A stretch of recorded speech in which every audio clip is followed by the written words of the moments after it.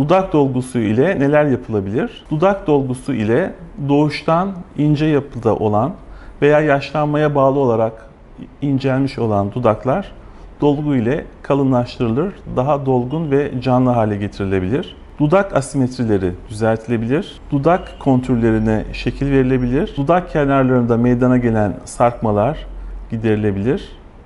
Daha estetik bir dudak elde edilir.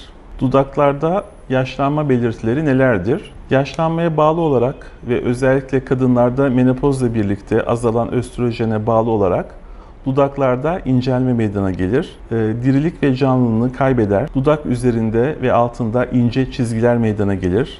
Dudak kenarları sarkar. Marionet çizgileri dediğimiz çizgiler meydana gelir. Dudak köşelerinde yine sarkmalar meydana gelir. Dudak dolgunlaştırma işlemlerini kaça ayırabiliriz? Dudak dolgunlaştırma işlemlerini başlıca 3'e ayırabiliriz.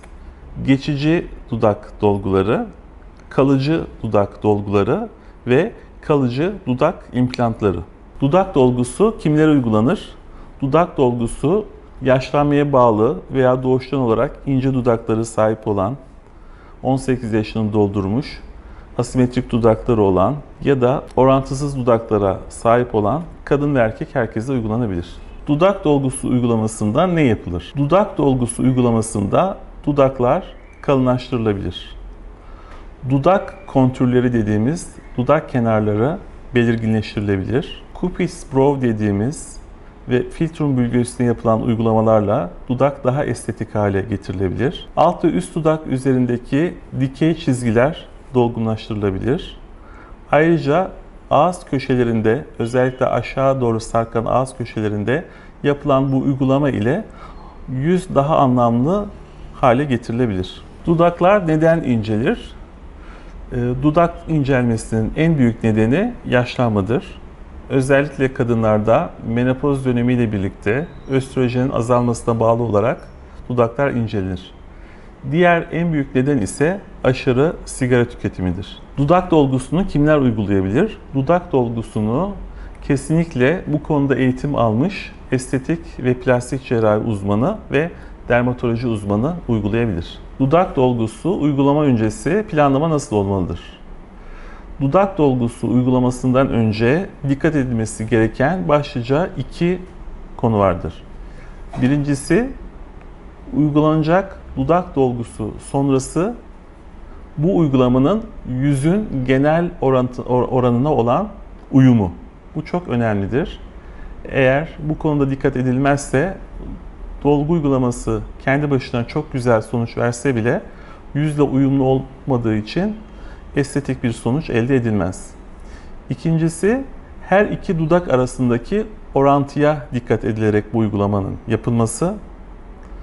Altın oran dediğimiz ve cerrahların özellikle bildiği bu oranlara dikkat edilirse yine çok olumlu bir sonuç elde ederiz. Geçici dolgu maddesi olarak ne kullanılır? Ee, geçici dolgu maddesi olarak hyaluronik asit bazlı dolgu maddeleri kullanılır. Hyaluronik asit vücudumuzda da bulunan doğal ve gençliğimizi sağlayan temel doku maddelerimizden biridir. Hyaluronik asit çeşitli dolgu maddelerinde bulunur.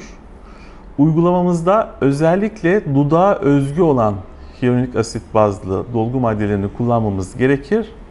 Aksi takdirde uygulanan dolgu maddesinin etkisi kısa sürede geçer. 100 katı oranında suyu çeken hyaluronik asit kısa sürede dudağı dolgun hale getirir, kırışıklıkları ortadan kaldırır. Hyaluronik asit nedir? Dudak dolgu uygulamasında en sık kullandığımız dolgu maddesi hyaluronik asittir. Hyaluronik asit ayrıca vücudumuzun her hücresinde bulunan e, şeker yapısında bir maddedir. Kolajenle birlikte etki eder. Cildin pürüzsüz, kusursuz, diri ve canlı olmasını sağlar. Kolajeni nemlendirir ve bu şekilde birlikte etki ederler. Yaşlanmayla birlikte her iki maddede azaldığı için ciltte kırışıklıklar, canlılık azalması meydana gelir. Hyaluronik asit bazlı dudak dolgusu nasıl elde edilir? Hyaluronik asit e, hayvansal bir ürün değildir. laboratuvar ortamında bakteriler tarafından üretilir. Hayvansal içerikli bir ürün olmadığı için kesinlikle alerjiye ve yandaş reaksiyona neden olmaz ve bu nedenle rahatlıkla herhangi bir test yapmadan uygulanabilir. Geçici dudak dolgusu ne demektir? Geçici dudak dolgusu etkisini belli sürede yitiren maddelerle yapılan dudak doldurma işlemidir. Bu maddede genellikle hyaluronik asittir. %90 oranında bu madde kullanılır ve etkisi 9 ila 12 ay kadardır. Dudak dolgusu etki süresi ne kadardır? Geçici dudak dolgusu etki süresi eğer saf hyaluronik asit kullanılacaksa 9 ila 12 aydır. Hyaluronik aside ilave bazı sentetik maddeler ilave edilirse bu süre 3 yıla kadar uzayabilir. Dudak dolgusunun etki süresini neler belirler? Dudak dolgusunun etki süresini kullanılan malzemenin kalitesi ve kişinin özel yaşamı belirler. Eğer kullanılan malzeme çok kaliteli değilse etkisi kısa sürede azalır. Yine kullanan kişi sigara içiyorsa veya güneşi çok seviyorsa yine uygulamanın etkisi kısa sürede ortadan kalkar. Dudak dolgusu uygulaması ağrılı bir işlem midir? Dudak dolgusunu uygulamadan önce o bölgeye lokal anestetik etkili bir krem sürülür. Veya o bölgeyi duyulandıran sinirlere blok anestezi uygulanır. Aynı zamanda dolgunun da içinde lokal etkili bir madde vardır. Bu nedenle sanıldığı gibi dudak dolgu uygulaması çok ağırlı bir işlem değildir. Dudak dolgusu nasıl uygulanır? Hasta ile yapılan görüşmeden sonra e, uygulama odasına geçilir. Hasta sırt üstü pozisyonda ve başı hafif yukarı doğrudur. Önce antiseptik bir solüsyonu o bölge silinir. Daha sonra ağrılı bir işlem olmaması için o bölgeye ya krem sürülür ya sinir blokajı yapılır. 15-20 dakika bekledikten sonra da uygulama yapılır. Tüm işlem yaklaşık 30 dakika kadar sürer. Hastayla yapılan görüşmeye göre ve planlamaya göre dolgu maddesi hazır preparatlar içinden alınarak enjekte edilir. Bir miktar kanama olabilir, çok önemli değildir. E, uygulamadan sonra bir 5 dakika kadar da buz uygulaması yapılır. Bir seansta ne kadar miktar e, dudak dolgusu materyali enjekte edilir? E, normalde hazırlanmış 1 cc'lik preparatlar vardır. Bir seansta eğer hasta çok abartılı bir büyüklük istemiyorsa bu 1 cc'lik hyaluronik asit içeren dudak dolgusunun uygulanması yeterlidir. Hastayla yapılan görüşmeye ve önceden yapılan planlamaya göre genellikle 0.6-0.7 cc üst dudağa, 0.3 cc de alt dudağa verilir.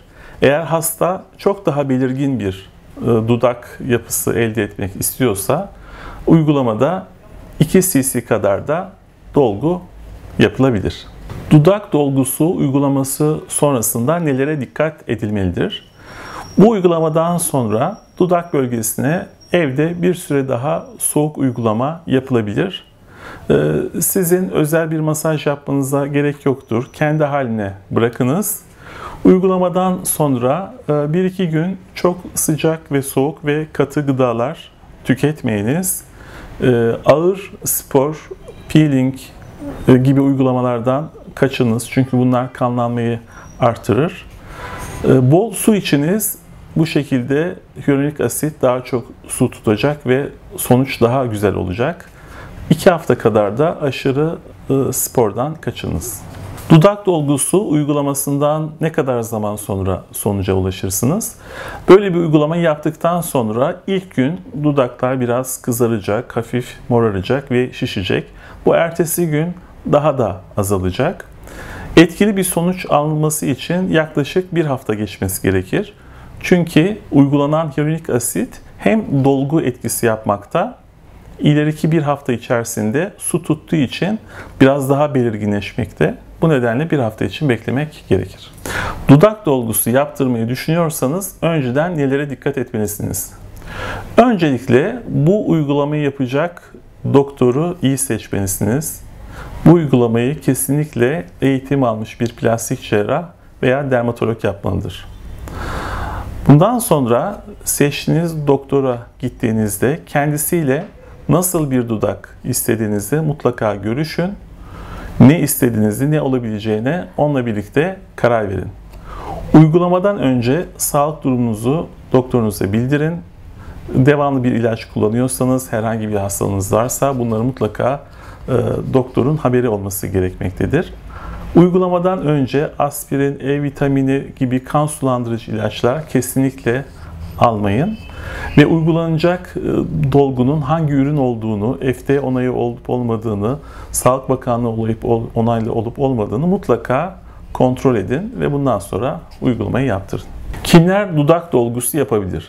Dudak dolgusu estetik bir işlem olsa dahi tıbbi bir müdahaledir. Her tıbbi müdahalede olduğu gibi bu işlemin de bir takım sakıncaları, yan etkileri olabilir. Dudak dolgusu yapacak kişinin bu durumlarda mutlaka buna da müdahale eden birinin olması gerekir. Bu nedenle bu işlemi estetik plastik cerrahlar ve dermatologlar yapmalıdır. İşlemi kesinlikle muayenehane ortamında yapılması gerekir. Spa veya güzellik salonunda veya spor salonlarında bu tip işlemleri yapıldığını duyuyoruz. Bunlara kesinlikle uyup bu, bu tip durumlara düşmeyiniz.